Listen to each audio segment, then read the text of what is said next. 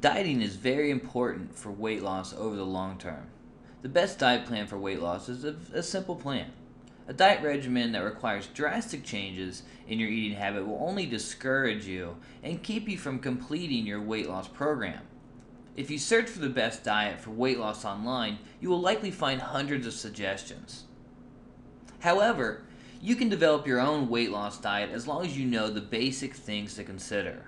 First off, plenty of water instead of sodas. You don't want that sugar.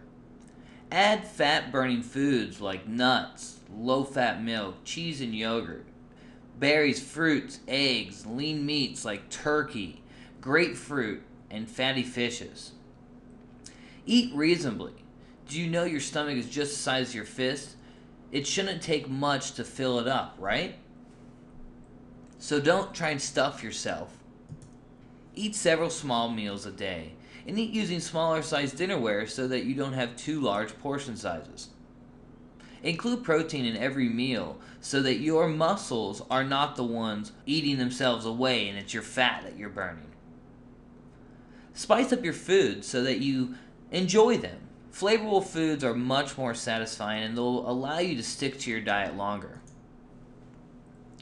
Your weight loss diet shouldn't necessarily be made up of bland, tasteless food. You can still enjoy your foods while you aim to lose weight by making the right choices and through long term discipline.